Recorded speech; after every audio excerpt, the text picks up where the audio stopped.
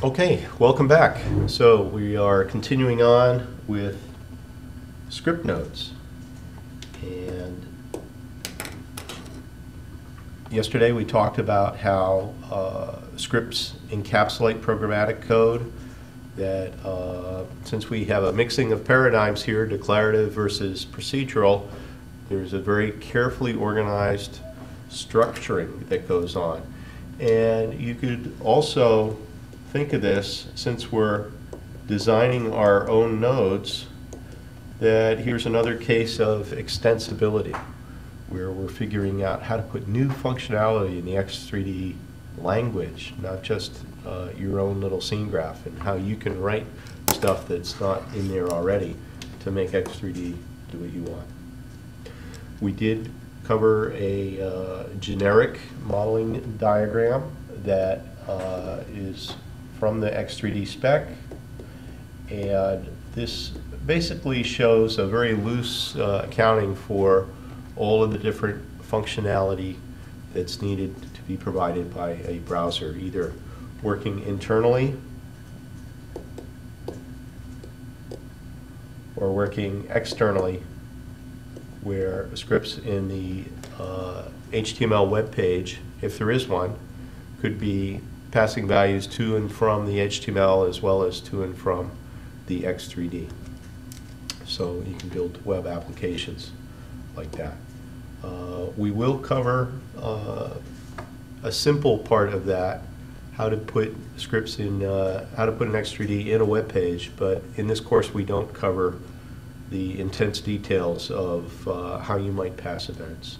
But still, it's good to be aware that the capability exists. We then looked at what is the execution model for uh, each frame. And uh, there's a number of steps when we draw each frame.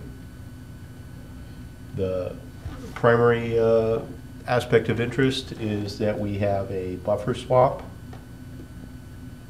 as we draw one, we then draw another, and that frame buffer swap is what allows the performance of our 3D scenes to be very fast because you only get displayed a completed picture.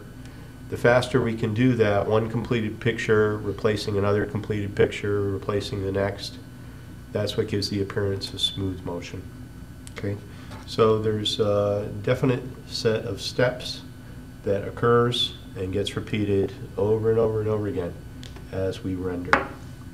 Okay, given those steps that we go through, let's take a, take a deeper look at uh, what's occurring inside the scene graph when these events are, are going. And so, uh, since the frame buffer is only displayed as a final finished product, that means, of necessity, any event processing we do has to be in between one frame drawing and the next frame drawing. So during that interval, that's part of the computational work that helps us figure out what gets drawn. So uh, to follow those steps, we've, again, we collect all of our input events, and we process them one at a time, usually in order. Not necessarily in order, but we process them. Then, uh, since we can have a daisy chain, Rube Goldberg, animation chain of events, one thing provoking another in our behaviors, we might get multiple output events produced as we go forward. And there's a special name for this. It's called the event cascade. And that event cascade, as it implies, is it's like uh, if you start a, a, rock at the top of the hill rolling, it can knock other rocks and more rocks and more rocks, and you get this cascade effect until everything reaches the bottom. Okay, now uh, uh, this is how we change our scene graph and get results. Now there's an important problem that we want to avoid, and that would be event loops. And if we think about it, having one event provoke another, provoke another is a good thing. But if it never stops producing events, Well, overall, your system might want that. I mean, you do want a continuous simulation that runs over time, but if within the interval between one frame and the next, we never stop, that means you never get to the next picture. You never get to the next frame. So it's important that event cascades must terminate.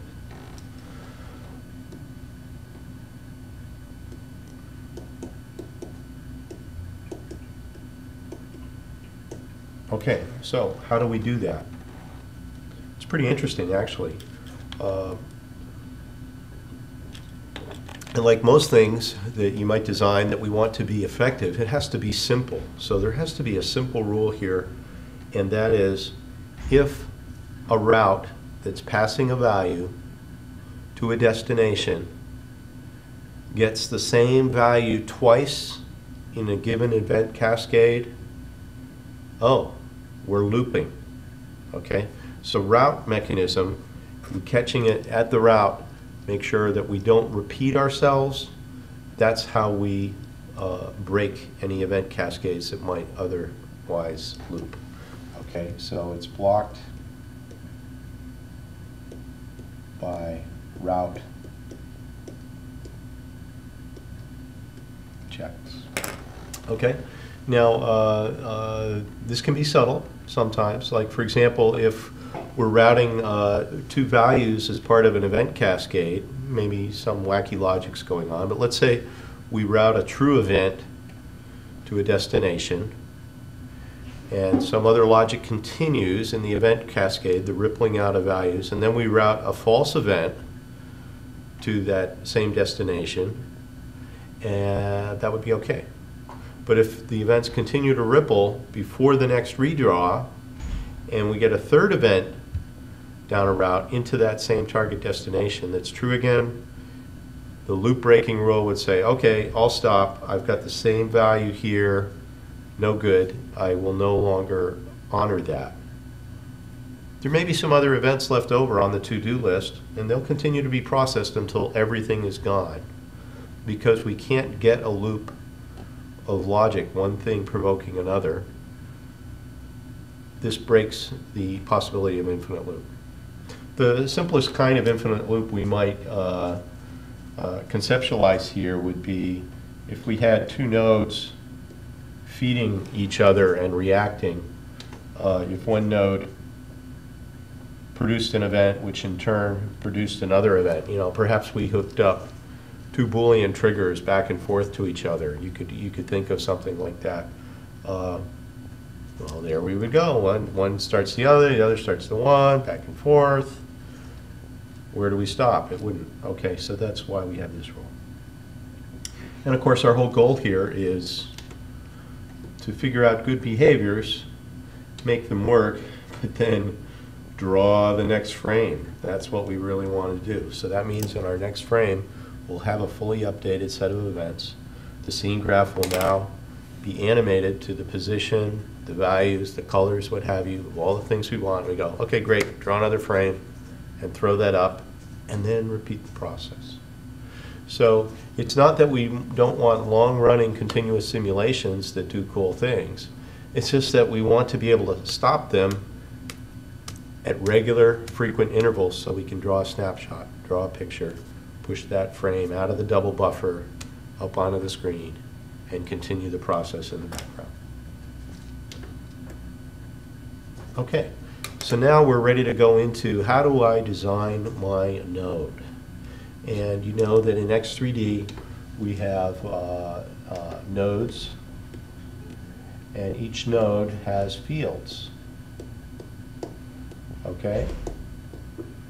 You can look at every node in the scene graph, every node we've studied in X3D, and they each have fields defined. So here is how we define fields for our script node, for a node we're defining ourselves. Okay? So how do we do that? Well, it's cleverly named field. and uh, in the XML encoding, we uh, uh, make that an element, an XML element that lets us define what a field might be. And uh, because those fields are the interfaces, the inputs, the outputs, the state variables for uh, a script node, in, in effect, this defines the functionality of that black box. What can come in, what's remembered, what can go back out again. And so, uh, very important. You might wonder, uh, what, what's this about zero? Why could we have uh, zero fields?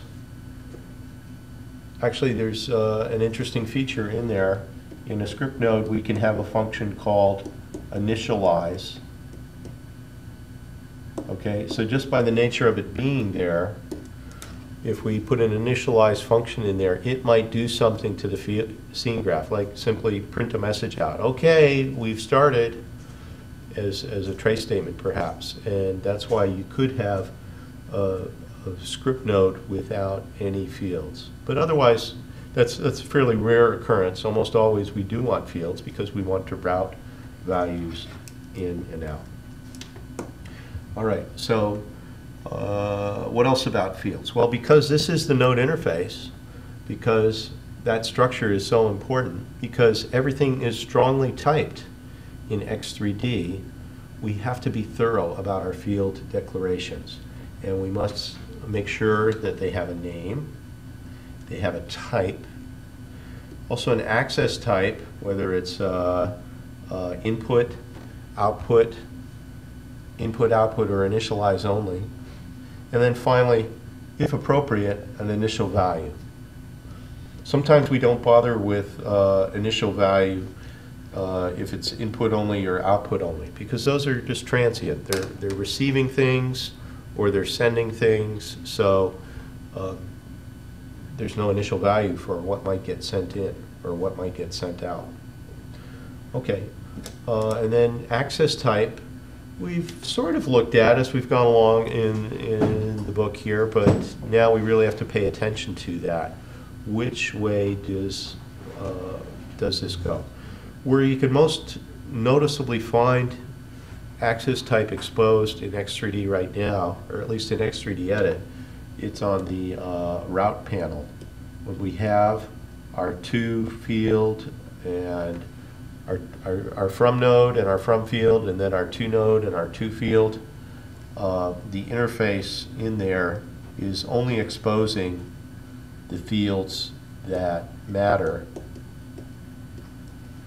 It won't give you uh, a listing for fields that aren't able to send an event out up in the to side. Okay, so from has to be an output to the destination has to have an input. Okay, so the route panel uh, is a good way to expose that. Another great way to check that is with tooltips. Uh, the tooltips for each node do list the type as well as the access type for what it is. So um, if in doubt about how to do these things, that's a good checkpoint. Look at other nodes, how they work. Often your scripts are doing similar functionality, so uh, you can follow those examples. Okay, so uh, drilling down here, we've got uh, a two screen table here of all of the different types that exists in X3D. So a single field Boolean, a multiple field Boolean, and of course multiple field means array.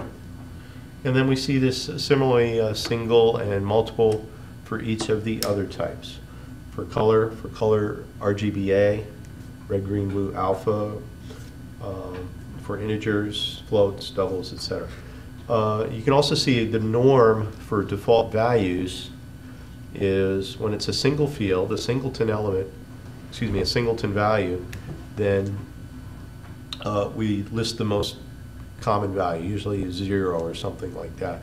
If it's an array, we don't give it a default value, we say none. The null array, no entries. If we do put things in that array, like it's an MF color array, then we would have to put in triplets of colors. We'd still have to have the proper counting. Okay, uh, what other types do we have? Uh, uh, images and nodes, single or multiple nodes. Ah, that's interesting. We can write scripts that pass nodes in or pass nodes out. So we could not only, not only have to tickle fields within a node, but we could pass nodes themselves. For example, you might pass an array of nodes to a transform to set its children. So that's pretty interesting that we have that level of control here. The rest should look pretty familiar. Uh, rotations, strings, times, we use those all the time. We certainly use vector 3f for position, for translation. And we saw with textures that we also use the 2D, uh, two tuple nodes as well. Okay, now there are some naming conventions, and these ought to be pretty familiar because we've looked at a lot of those just as we've gone along. Uh, X3D is pretty consistent about the names that get created for nodes. So we probably want to follow that if we want our scripts to be sensible and make sense.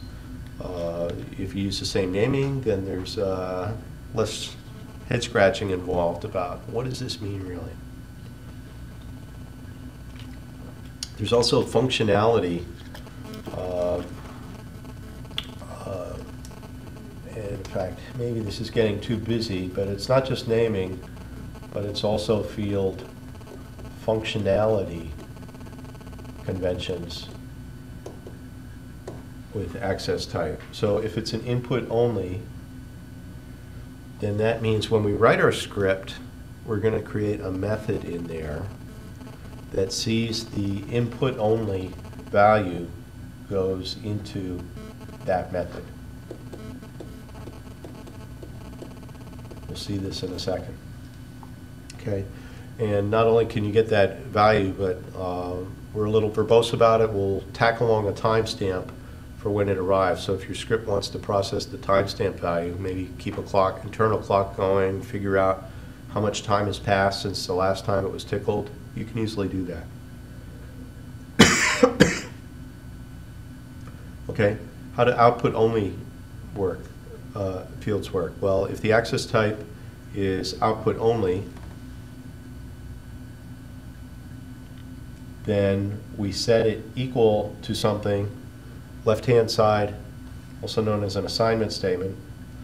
And uh, whenever we set that variable equal to some value, then because that variable has been identified as a field variable, that's a cue to X3D to go, oh, I've got a new event. You just set me, I'm an event out, an output only, boom, that event gets pushed back out into the scene graph. Okay. Initialize only is our third type of uh, access type here, and uh, that's used for state variables, variables that we want to keep track of we can uh, uh, use them on the left-hand side or the right-hand side of equations. Uh, because they've been initialized, we can use them as part of a computation. If we want to remember them from event cycle to event cycle, we can just assign new values to them. But because they're identified as initialize only, there's not going to be any routing that goes to and from them. Okay, finally, our other uh, uh, type of, uh, our other access type definition here is input-output. So that can send or receive. However, the naming's a bit confusing on that because you can define a function name for the inputs and a left-hand side variable for the outputs. So uh, that can be a little tricky in practice when we do that.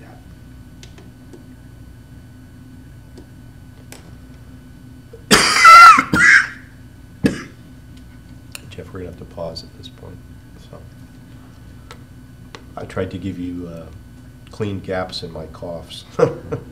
If you're gonna go through in the uh, audio and clean that up, so.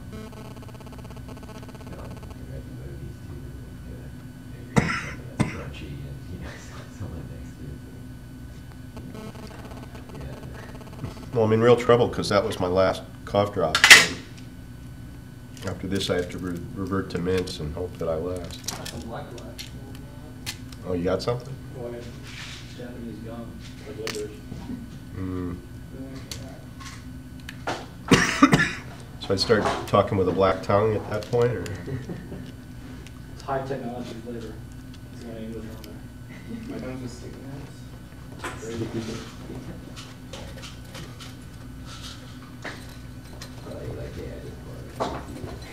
That sounds like something uh, kids would do in fourth grade. Yeah, let's give the teacher some black gum, yeah. It's like licorice. It's unacquired taste. Whoa. Yeah, it's very hard. Wow. It'll clear, it'll clear your sinuses out. It's like a slack. Do you think I should, uh, it'll settle my throat down here? Try it. Okay. Thanks.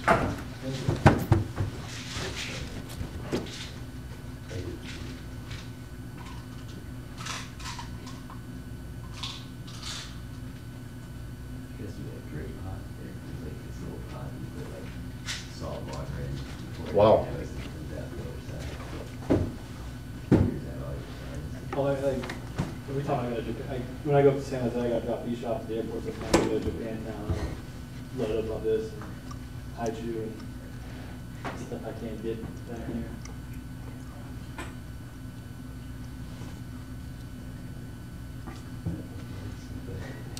This looks a little grainy on my screen, which, now that it's blown up, how did it look to you guys? On your screen? The The next slide, slide 54. Yeah, it looks pretty good on mine. it's not clear on that. Yeah. I never noticed that before, maybe it's because of the dots per inch that I have. But it's okay on yours? It looked fine on the printout I did too.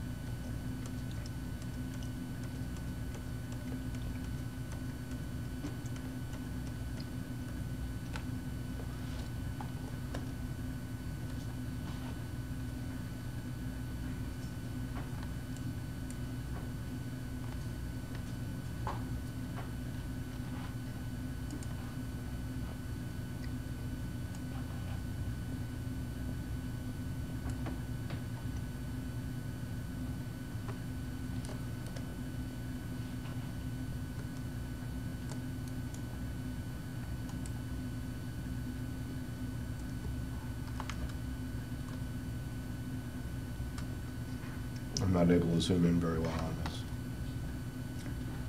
Arg.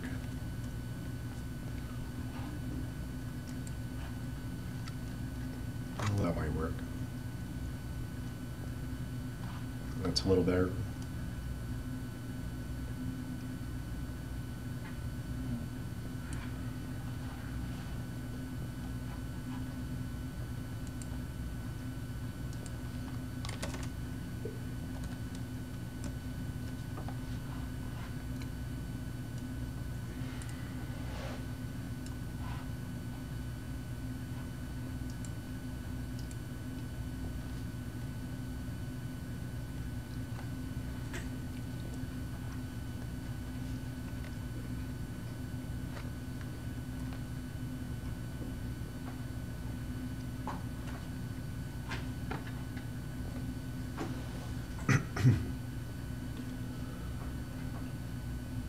Okay, so let's look now at the script life cycle with an example script diagram here. And uh, this includes not just how the script would work uh, within a given frame and the event processing, but also how it would work uh, from the beginning to the end of the scene. across all the, all the frames that got drawn in between. So we start by loading the scene. We pull down our inline nodes, external files, and also any external prototypes, uh, which we learn about in chapter 14.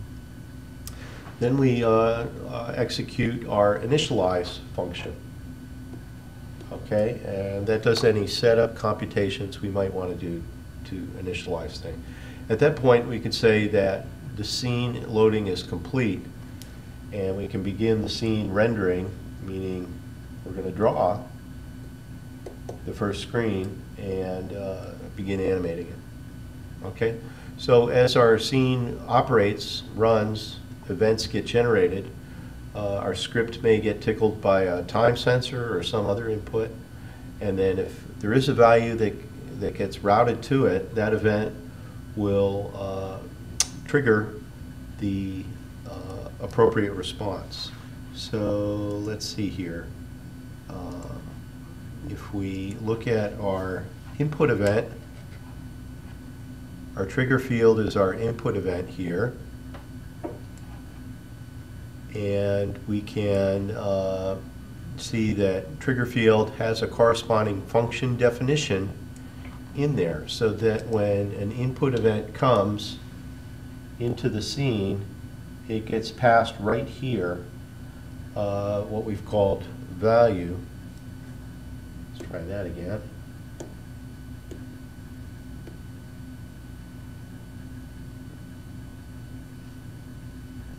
Nope, not quite right.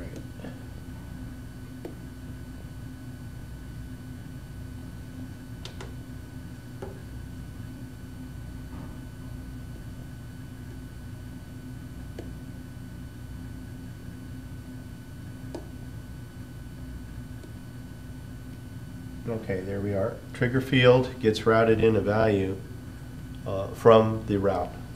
And that's where our uh, functionality then occurs. This is kind of curious. I haven't used the two together. Let's see if we can try again here.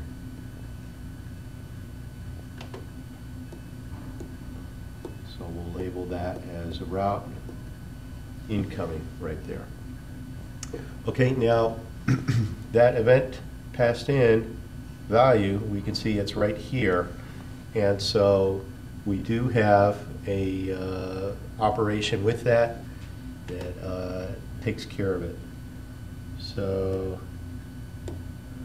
let's maybe highlight value like this, see if that works. And there's value used as part of another function to uh, uh, compute something with it. In this case, we simply print it out. Then what else do we have in this field definition? Well, we've got uh, an output event, output only event, and we've named that acknowledged. And so this one is not a string, but rather a Boolean. So here we see acknowledged within that function.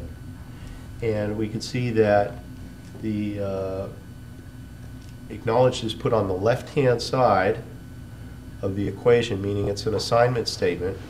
And in this case, acknowledged variable is assigned the value of true. And that active assignment works not only internally to the script, but it also cues the browser, oh, since I was an output event, send that event out.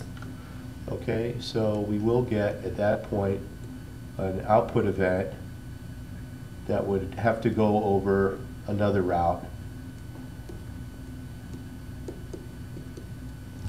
And appear that way. Not quite sure what's going on here, but there we go. I snuck up on it and you get the picture. Output event comes right there. We've also listed in this uh, diagram uh, the existence of yet another function, and that's the initialize function. So you could perform setups there. That might be uh, printing a, a statement to confirm debugging that the script actually loaded properly. It might be initializing a counter or some summation value to zero. Could be any number of things. Depends on your uh, algorithm. We also see that there's another function called uh, shutdown right here. And like uh, the initialize function, it is optional. Uh, Unlike shutdown, we almost never use it. Uh, This might be if uh, you were using Java and it set up network connections or a database connection or some kind of external persistent thing that needed housekeeping to clean up afterwards. That would be the place where you put it in a shutdown function. Okay, so where are we? We've loaded the scene, we've initialized the script, we've started event operation, we got input event during the loop, we've got an output event that it generated. So what happens to that output event? Well, it goes to the event list in the browser. And so if there are any routes, such as right here, that take it elsewhere, then that's handled. Now, because there is, uh, one event can provoke, another, because one thing can lead to another, we continue and we loop here on the uh, event cascade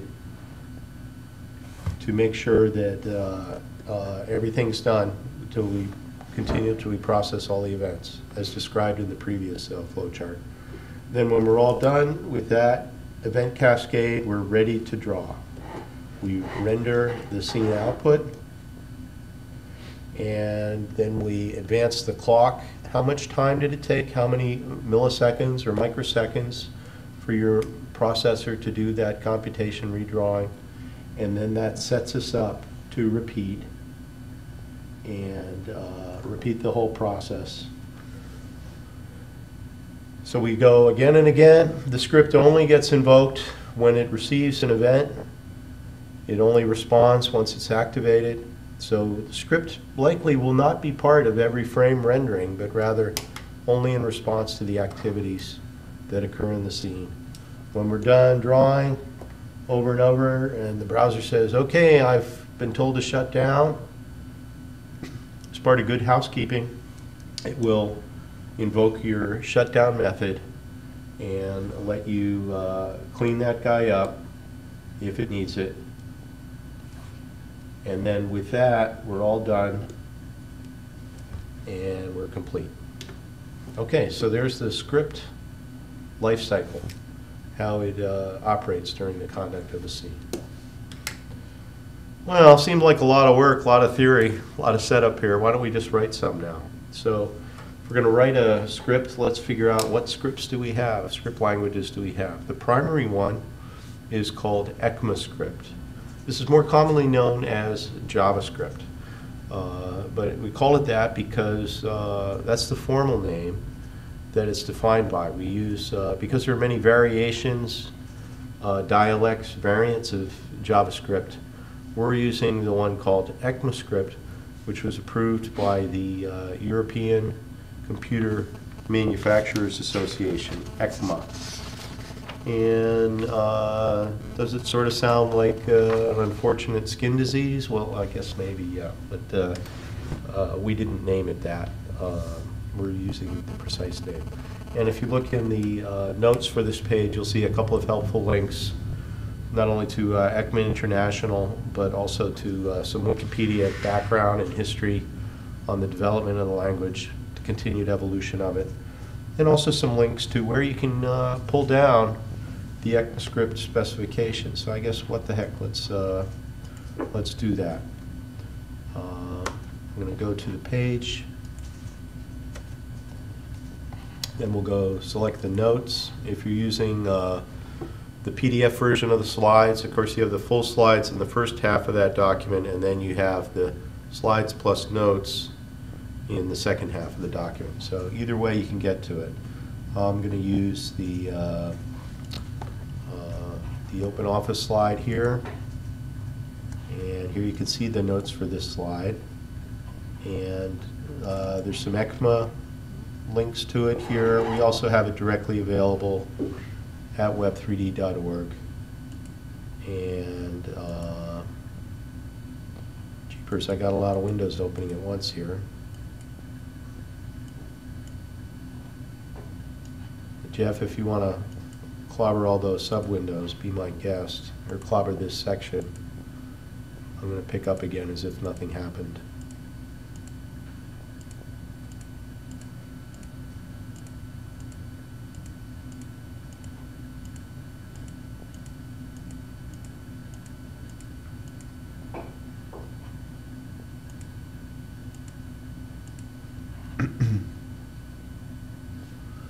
Okay, so if we download the ECMAScript specification, uh, uh, here it is.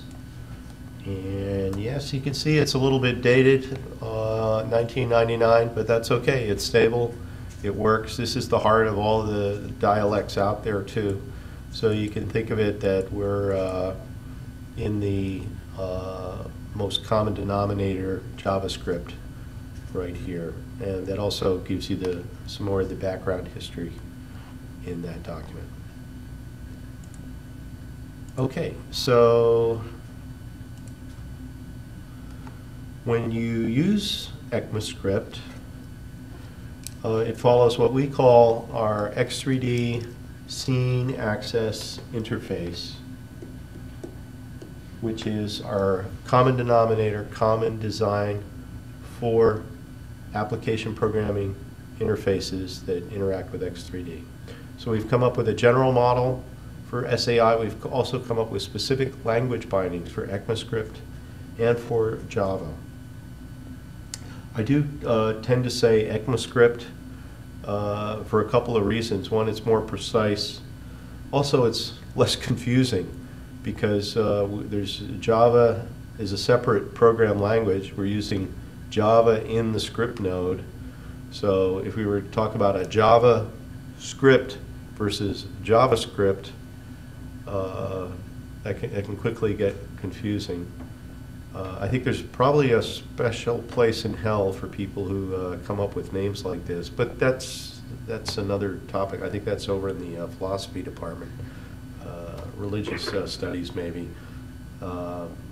Be that as, we'll, we'll stick with ECMAScript and call it that. Uh, And then quickly uh, double back and say, if we put in an external file, we'll nevertheless use the convention for file naming that's outside, that's used in HTML and most other files, and that's .js, obviously JavaScript. So the parlance we'll use, the terminology we'll stick with is ECMAScript and .js files. But it is pretty cool that we can use both uh, internal and external uh, JavaScript files, because there's merits to both. And uh, when you would use one versus the other, it's kind of an authoring preference. Um, Let's keep going, and we'll look at that preference in a minute. In addition to, go ahead, Fred. I just want to double check something you said for, for SAI. You said there, there's a E ECMA binding and also a Java binding. Correct. There are two languages. So if, um, let's see, our current slides, uh, we're on slides 55 and 56 in this chapter. The ECMAScript JavaScript slide defines the first language. And then the next slide, Java, shows, uh, well, we also have the Java language. Okay, and where ECMAScript is required, Java is not. However, if a, an X3D browser is going to provide Java capabilities for embedding a script in a scene graph, then they must follow the rules. And our SAI does define the standard rules for how you do that. Okay, so it's optional, but if you do it, you have to do it right. Now, um, we won't get into language wars about whose language is bigger, whose is better, or what's who's on top. Uh, that doesn't matter. What, what does matter is each language has its own merits and values. And some advantages for Java is that you can read and write to the network, or connect to a database, or access the really large set of functionality in the, the Java standard class libraries that are provided. Your mileage may vary, your use uh, uh, can be customized. We do a little bit of Java through the script node here.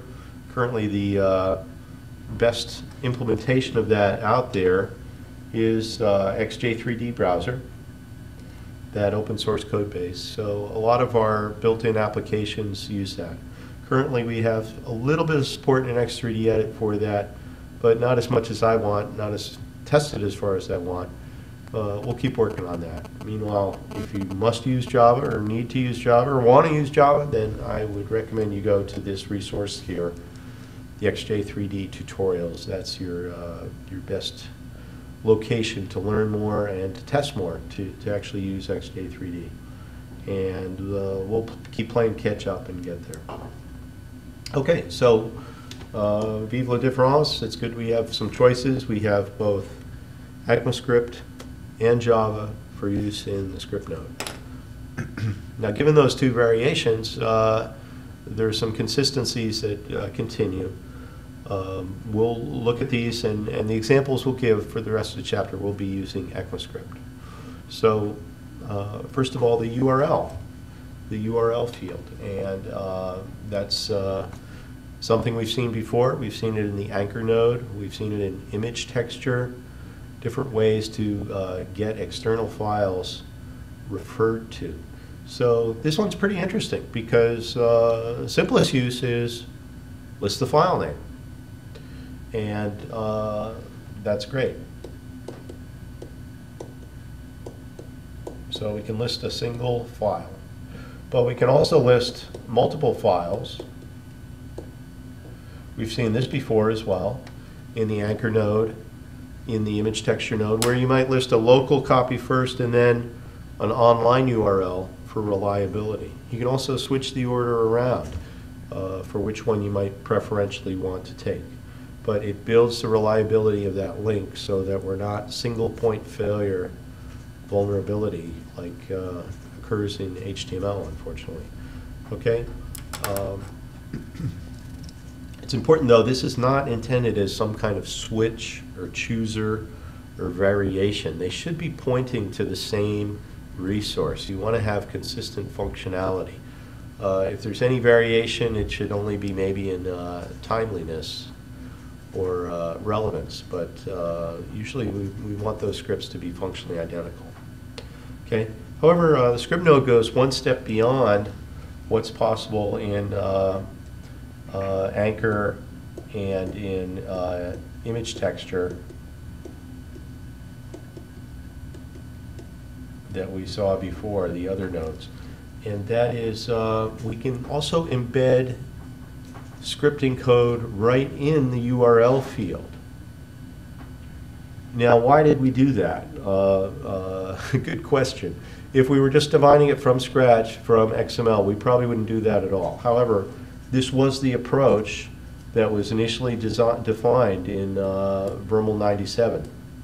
And so because we want to maintain backwards compatibility, we also have it as the same exact encoding approach in the classic VRML encoding. And then we gave the option for authors who just must have it, or for browsers who strictly implemented it that way, we give you that option. Uh, But there is a preferred way to do it in XML, and that's using something called a CDATA block, which is uh, an- a curious XML construct uh, that lets you think I got it right there, uh, that lets you identify text, plain text, in your XML file, and it protects it from getting reread, uh, reparsed, remangled, if you will, because it tells the XML parser that this is character data, leave it alone. Don't try to turn less than signs into element definitions or anything like that. So CDATA block is how we usually do this if we're going to embed ECMAScript right within the scene. Okay, so here's an example of that, showing the syntax. And uh, we have here uh, a sample script node with uh, some definitions. And uh, here we've called our field names A, B, C, and D. And uh, then we've put a block internal to that. So the CDATA block would be right here. There's our CDATA construct, and that is telling our X3D browser, or more specifically, our XML parser, to leave it alone and don't touch anything in there. So uh, we don't have to worry about it, white space getting thrown out or other things that would uh, really screw up the scene. So there's our block, and it's protected. And notice then that uh, in this case, we didn't need a URL definition in this script node. Uh,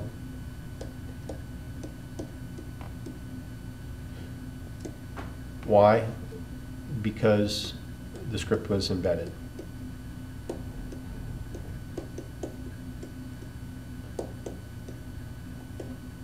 Embedded right there following the field definitions.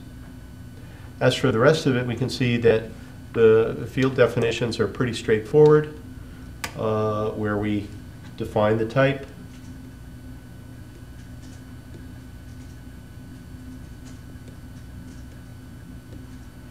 where we define the access type. Is it an input? Is it an output? Is it initialized? Is it both an input, output? And then for the guys that are uh, uh, initializable, we'll also put in an initialization value so that uh, uh, the script can properly start. And so if you have, let's draw this in a slightly different way now. If we have uh, an initialize only field, then it is required that you have an initialization value. If you have an input-output field, you must have an input, uh, uh, an initialization value. For the other cases, it's required that you don't have an initialization value because it makes sense. Okay, so what's highlighted right now are the requirements. Anything different than that will be erroneous and would mean your script node was not properly defined. Okay, so we saw a couple of things on this slide, both the CDATA construct and also the uh, uh, uh, node interfaces. So here's some actual text then for a field. Notice this is not embedded within a scene right now, but rather it's listed as a separate file. Okay? And there's a comment to that effect right up at the top that if it were copied into a CDATA section in a field, then we would want to uncomment it and make sure that ECMAScript statement did appear right at the front. But as long as it's uh, uh, in a separate file here, we don't put that ECMAScript in the header. Okay. Now the, the particular file we're looking at here is new ECMAScript.js. This is the the file you will get if uh, you uh, use X3D Edit to create a new script. So let's do that. I'm going to uh, jump out of the slides now to uh, X3D Edit.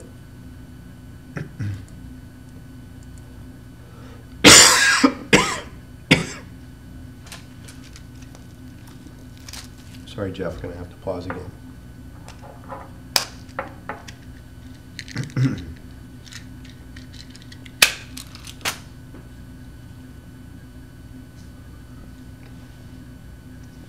This is this a good point to take a break? Since it's a two-hour period, why don't we take a few minute break and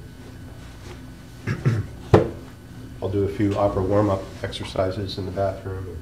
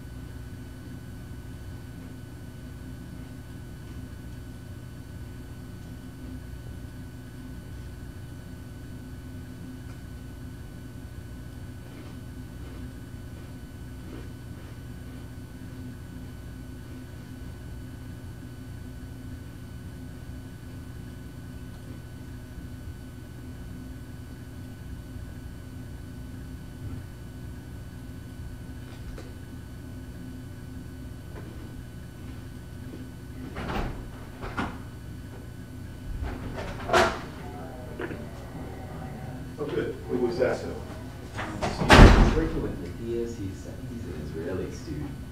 Oh, okay. good. Uh, I can't, I, I didn't get his name, but he, uh, he's right across the hall. Very good. Say again, Fred?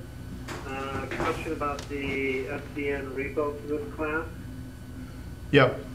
So, tell me again the status on that. Are, are we gonna try and use that same machine, which is, uh, I think it's uh, mmog.ern.mts.edu?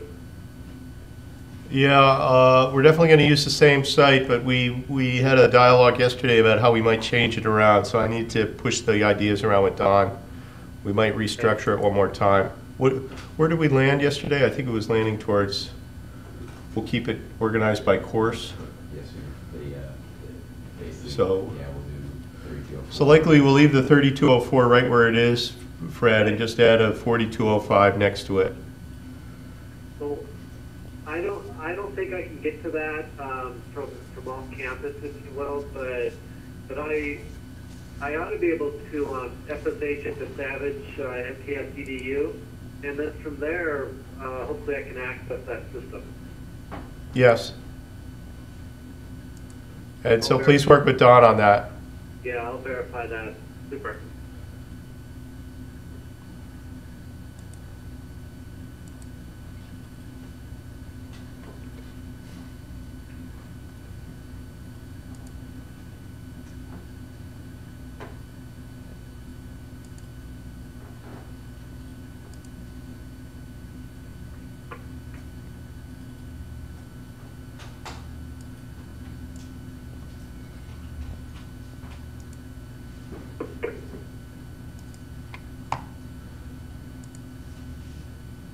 Okay, so let's go from the slides to X3D Edit. And we've got two ways to get here. We can either select File menu and then New X3D and uh, new ECMAScript sample JS code. Or we can select the button here, the, uh, the JS button on the uh, interface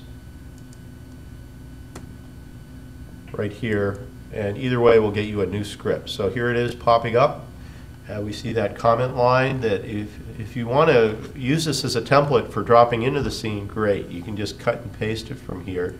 We prompt you with a bunch of to-dos on how to customize this thing, and I think it's a good practice to uh, put uh, uh, put proper comments in your external JavaScript file, just like you would put appropriate metadata in your X3D file. And then we see a template of example code in here for what an initialize method would look like and what a, a field uh, would get defined as. If we had an input-only field, it would get uh, its name right there. We get a value, possibly a timestamp. So this is excessively commented to make it uh, hopefully easy for you to produce this. And uh, notice it also gives you my input-output field name and prompts that. So maybe simpler is just looking at an existing one. Here's, uh, for the first example we're going to do in a couple of slides, simple script state events. Um, uh, What's notable here is this code is uh, color-coded. We're taking advantage of uh, the NetBeans engine here and its ability to understand uh, JavaScript. So when we put our ECMAScript file in with a .js extension, we get that for free. And it will also do syntax checking on a lot of stuff. So if we put uh, something that's uh, illegal in there, it's going to pick up on that pretty quickly and, and indicate what's wrong, at least from its perspective. Hey, if that's a statement, where is my semicolon? Uh, This one, it just punts and says syntax error, and lets that go. So here we are. Let's undo that. And uh, we're back to a legal file. Okay, we could also put it inside the script And so if we were going to do that, we could go to this scene and find the script node and stick it in there. So here's our script node. Notice it is using the URL definition and uh, pointing to the file externally. Also pointing to the file externally, since this one has an online address, that's put in there as well. And so, uh, pretty cool. It's just like all the other MF string arrays that we've seen before. And we can uh, have our cake and eat it too. Have a local copy file, external copy, or embedded in there. All right. Now, if you want to use, uh, uh, I'm using X3D Edit right now, and we're taking advantage of those features, but you don't have to use that. You can use any text editor. This is just plain old XML when you get right down to it. So uh, if you want to use uh, the text editor that comes with your operating system, be my guest. Or uh, an editor that comes with your uh, HTML browser, or an XML editor like XML Spy or Oxygen or some of the other products out there, fine. Have, have a hoot. If we uh, pop up our interface here, uh, let's, let's look at first the interface for field definitions. Uh, and we can see, okay, there it is, name type, access type, and whether or not there's an initial value. Similarly for our script node, we can look at that and see there's, this is uh, actually more helpful than uh, you might expect. We- It lists each of the URL and uh, with our URL editor, uh, we can uh, take a look at those guys. If I stretch it out a little more, we can see all the functionality exposed. And so this will even uh, let us edit the, where the URL is pointing to, or let us load the uh, script in our browser. You saw it pop up there in the background. Or uh, even uh, go to your external browser, if that makes sense. So let's edit that again. Open this guy up so we can see everything. Uh, Select this. It turned green, so since it's not black, it's uh, found it. Since it's not red, uh, the link was working. Uh, Since green, the link is working, red would indicate the link was broken. If we launch it, that should push it into our external browser, and sure enough, there it is. So, pretty nice, pretty functional uh, editor here.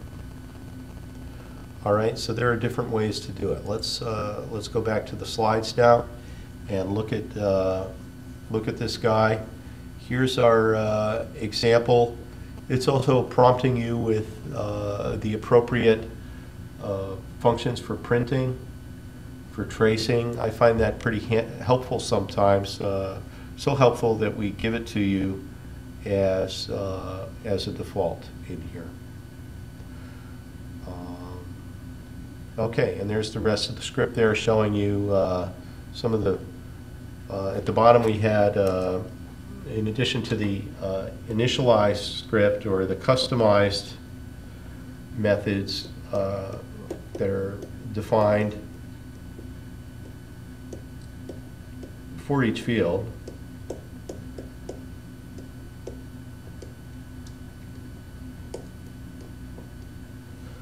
We uh, also have some specialty methods, prepare events, and events processed and shutdown. We already learned about the shutdown.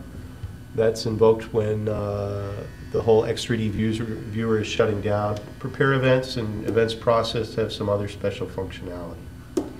Okay, so let's drill down into an example now, a little bit more. And this is called uh, script simple state events.x3d.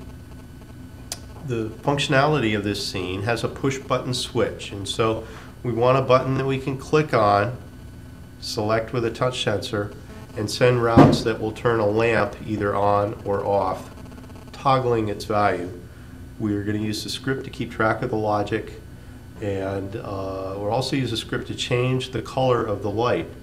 Uh, sort of cheating, sort of like on, uh, in the movies where if you, if you notice whenever a a movie or a television program is showing a nighttime scene, there's usually actually some ambient light that's provided, maybe uh, an amazingly bright moon shining through the window or or just, just some low-level light that's available in there.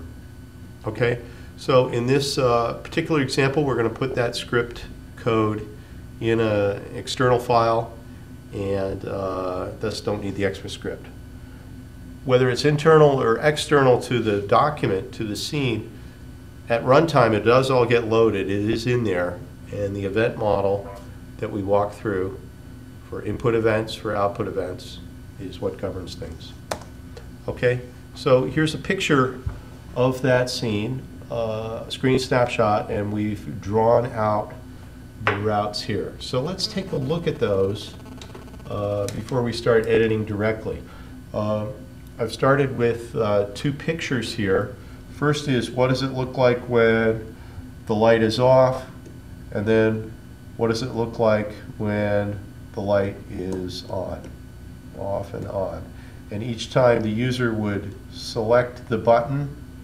And notice how it gets recessed here. Uh, the button is uh, not sticking out anymore and uh, indicating that it's animated down and the user has pressed it so it, it looks like a button that you might actually use in the real world and it turns on and off that light.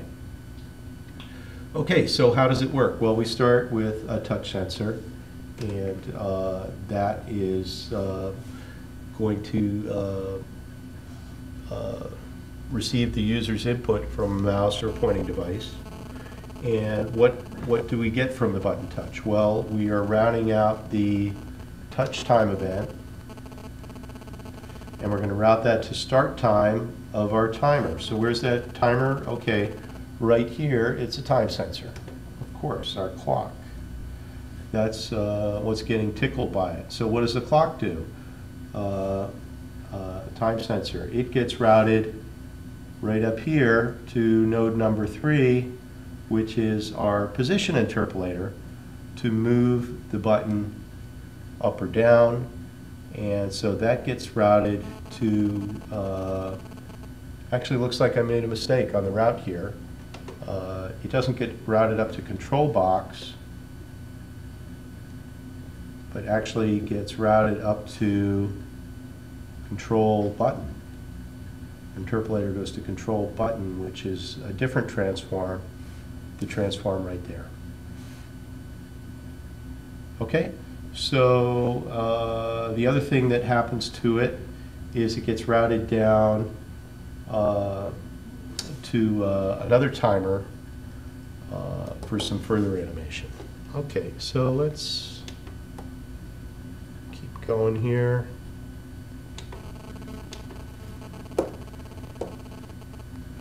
Uh, here's the bottom half of the scene, same scene. Um, when that timer goes active, it goes down to our control script, and our control script then is going to uh, keep track of uh, state. First of all, is the light on or off?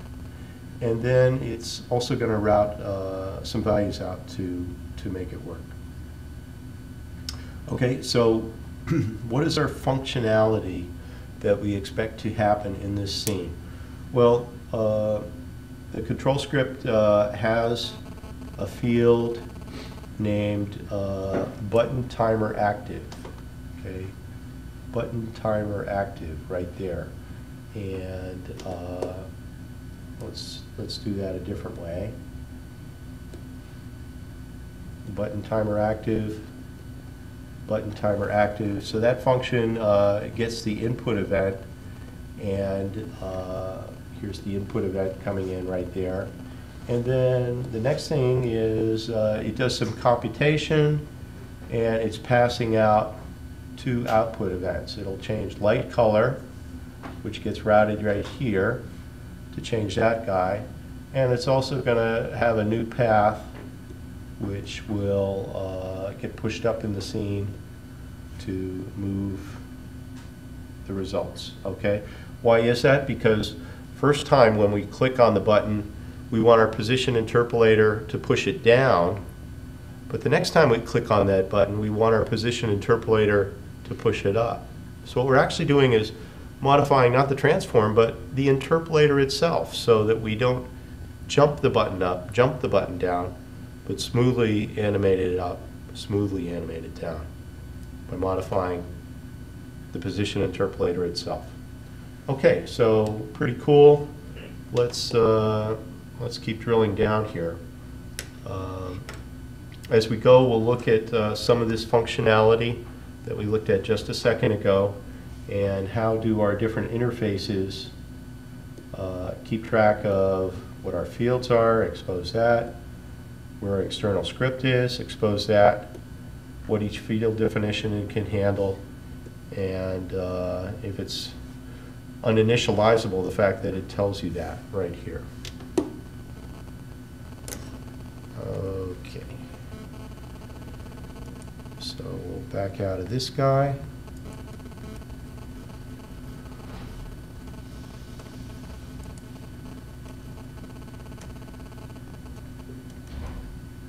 And by the way, uh, maybe some of you noticed it, uh, capitalization was mismatched right here on the name of that thing, so I'll fix that.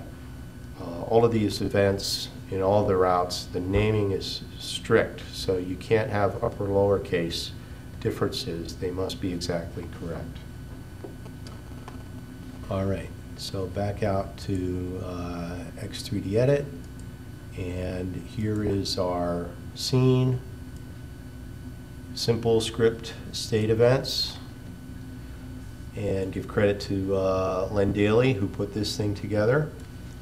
And then our script node, we'll uh, edit that guy again, and sure enough, we see that uh, there is no ECMAScript source code embedded internally, so this checkbox is, is left open right here. Uh, The reason why there's no script internally is because we have the script defined externally right here. So usually you have one or the other, not both, internal or external. And uh, that makes it logically much simpler.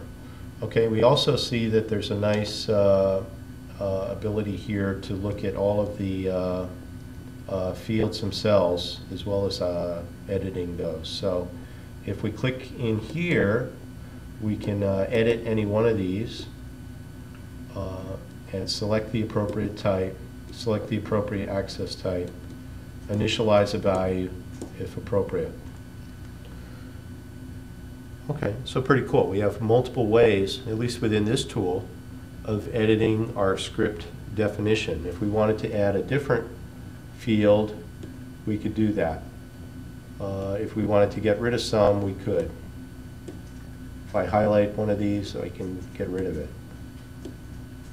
If we want to reorder them, then we can use the up or down arrows to move things around. But I'll cancel out. I don't want to break this scene. I want to leave it as is. Wanted to show you that functionality. Similarly, if we highlight one of the fields themselves, we can pull up the editor for that field in isolation. Okay? A moment ago, I was showing you the script node editor, which lets you look at all of the fields side by side and push them up, push them down, edit them, change them, what have you. Often you don't want all of that stuff at once, so we also give you a customized editor for this given field. Um, uh, This one was interesting, and because the access type was input only, can only accept events, we don't see an initialization value in there. That's what we would expect.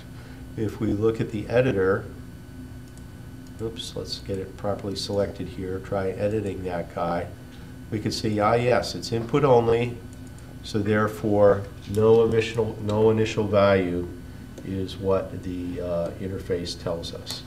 If we compare that to the other field, like this one isn't initialize only, so let's edit that. Initialize only, sure enough, it lets us, in fact, asks us to put in that initialization value right there. Okay? What else do we got? Well, let's look at the output-only values, the output-only fields, don't see any initial value like the first one. That's as expected when we go into the interface for this field. Sure enough, we get the reinforcing message from the interface. No initial value. Why?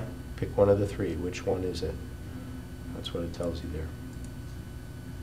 Okay, so now we're ready to look at the, uh, uh, the logic of this script itself. So we said input only events go to the corresponding method in the script, the corresponding function that's the black box that takes care of that. Okay, so button timer active is a field in the script and we expect to get a value. Let's recheck where that value comes from. Okay, so button timer active is shown in the slides.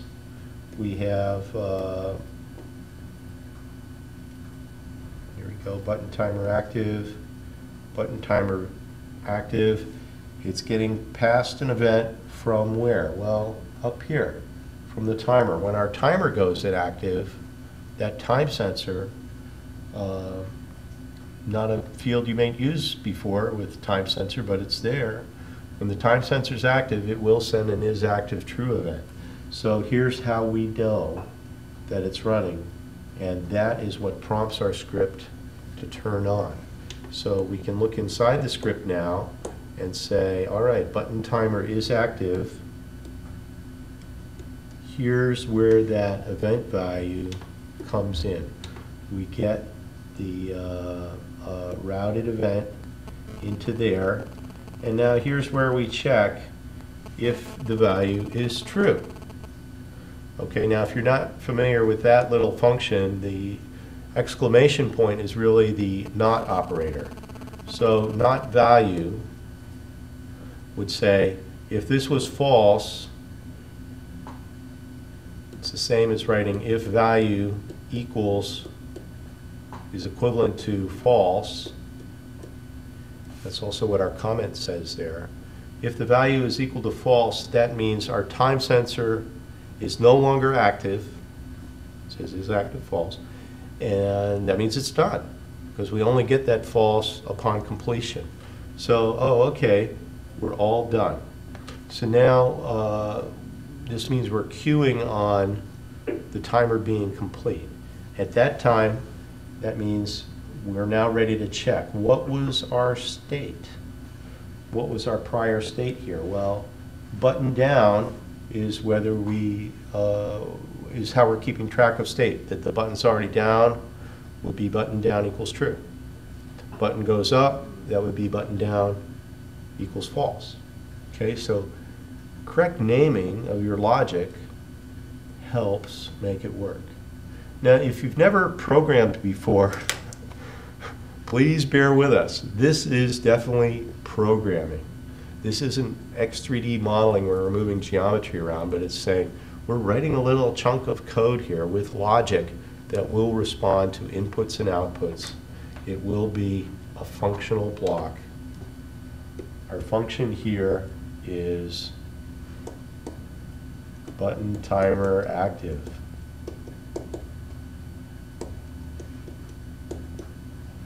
Our black box function has an input of the timer value.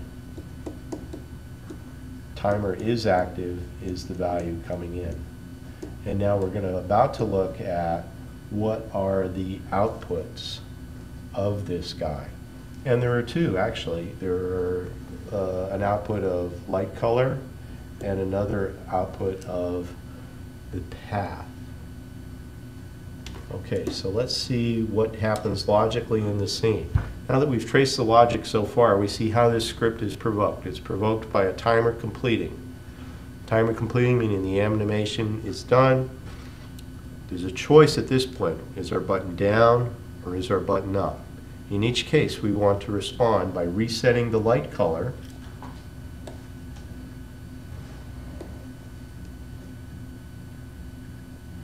we also want to respond by setting up our interpolator for the next time the user comes along and clicks it. Okay, so if our button was down, we would expect this new button path to make it go up. And we would expect this new button path to make it go down. Let's check our logic in the, from the previous scene and see if we're going in the right direction.